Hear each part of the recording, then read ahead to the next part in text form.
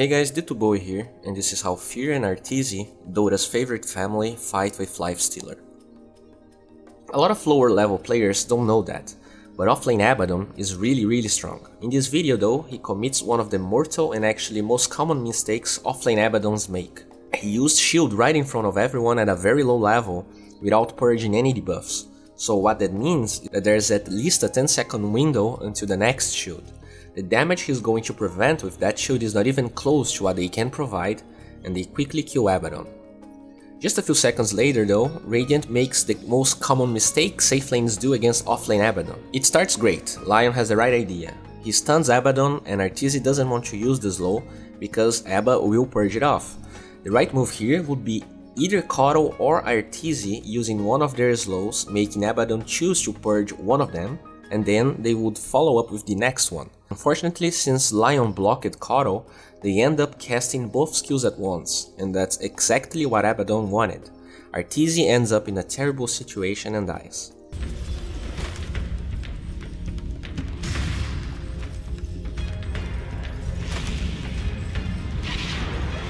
Lion has the right idea again. Abba is really good against slows and debuffs, but not against stuns.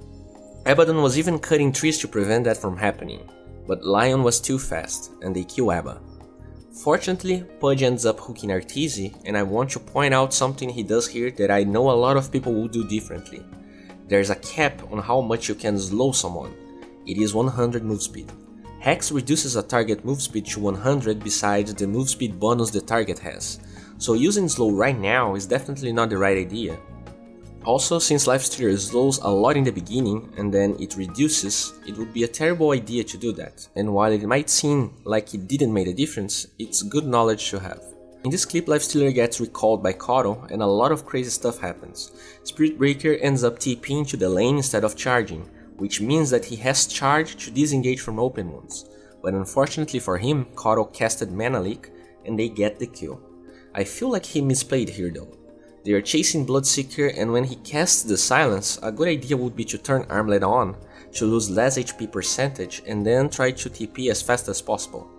I feel like he thought since he has since he was so low HP someone could stun or kill him with the vision from Bloodseeker. And and then he would not only die but lose the TP cooldown as well. And he indeed gets hooked, so maybe that was the right play, even though at first it doesn't seem like it. Lifestealer is a hero that gets easily kited and has a problem staying on top of heroes, especially against Abaddon, Spirit Breaker and Bloodseeker. That's not the case for OD though. Check how he takes a look on OD's inventory to see if he has a Force Staff already. He doesn't. Also, since he used Astral just a few seconds before, he wanted to abuse the cooldown, which was probably up already, but maybe OD was trying to buy items before dying, so he didn't even bother using Astral. This is a very good bait by Arteezy, he's farming Ancients and sees just a glimpse of Pudge there. Usually people would try to either run away or immediately chase him, which would be obvious for Pudge since he has a ward there, and he would retreat. Enrage has an instant cast animation, which means that if you're spamming your Q when you get hooked, you will always be able to use Rage before he dismembers you, which gives him an easy kill.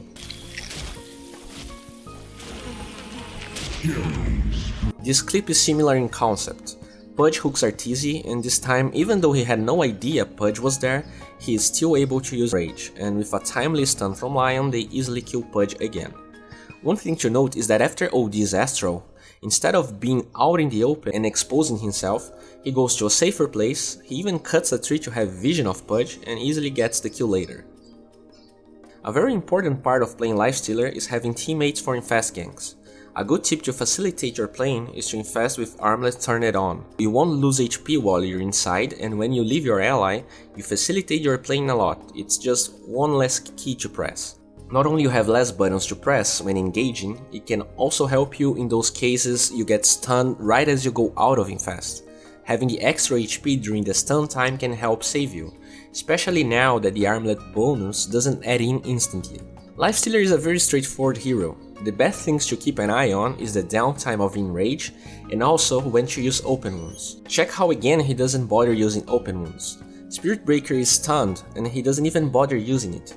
If another hero showed up, he would be able to slow him and maybe get an extra kill. After taking the tower, he does something very very smart and that a lot of people don't know. Pudge keeps the TP going, but he loses the normal vision of the tower, making it possible for Arteezy to trick him. Pudge probably thought he was retreating. But remember though, Pudge does have a little bit of vision around where he is TPing, but way less than what the tower provides. So if Arteezy just stood still, waiting for Pudge to come, he would definitely cancel the TP. And that doesn't happen here. This clip has nothing relevant gameplay wise going on, except what he does at the end. Yeah, they are ganking with Infest again, and they secure a kill. But sometimes when you spend so much time waiting for a kill like that, and you manage to get one, it can be a good idea, if you already have the cooldown like happened here, to do it again. It's less likely that the enemy team will expect it, so you can even bait Lion when alone in a lane instead of looking aggressively for a gank. This clip might look completely ordinary, but there are tons and tons of small things he does here that are important. So the first thing is that when Lion blinks in and stuns, he doesn't bother using open wounds or phase boots.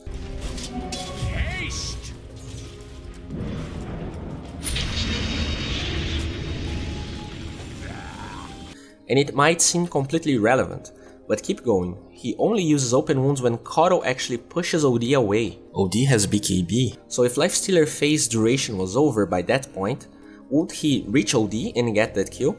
I don't know, but it was definitely close when he used phase, so without it, it could make a difference. As the fight drags on, you can see that he is not spamming open wounds or enrage. Only when Bloodseeker uses his silence, he uses enrage, and since Spirit Breaker was dead, he saves open wounds for the next target. Arteezy dies, but the fight was definitely on their favor.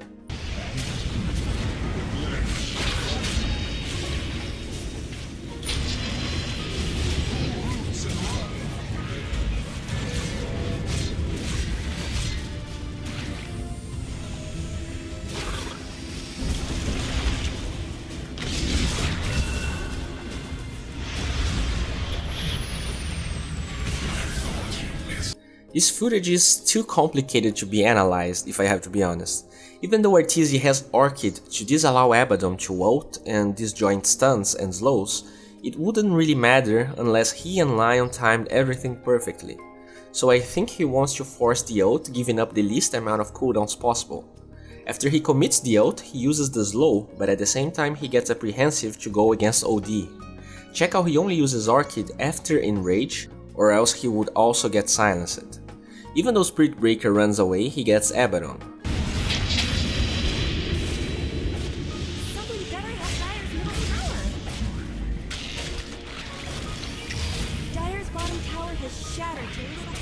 This is a very cheeky play by Fear. He TPs to the lane and he tries to infest a creep and surprise Anti-Mage. The best case scenario here is Anti-Mage blinking back to the lane, allowing Fear to kill him. Even though that doesn't happen, when he goes for AM, he panics and blinks in the worst place possible, guaranteeing the kill. Something to note is that he only pops Enrage when getting close to hit Anti-Mage, maximizing his total possible DPS.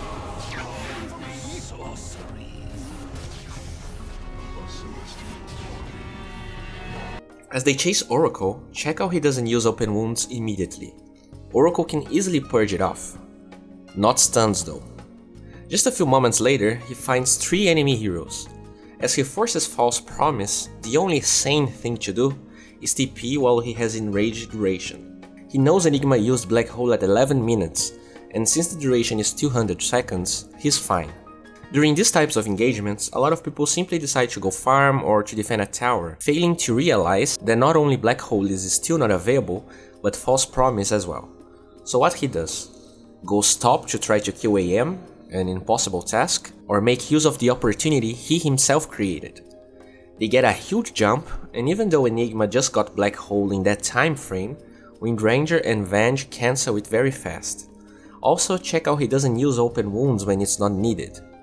I talked a lot about saving it to the next target, but Lifestealer struggles with mana especially if you don't go Echo Saber. In this clip Fear baits False Promise because he saw that Oracle used his first skill just a little bit before, so even though Oracle runs away, baiting that skill is very valuable, especially after the cooldown increase at level 1.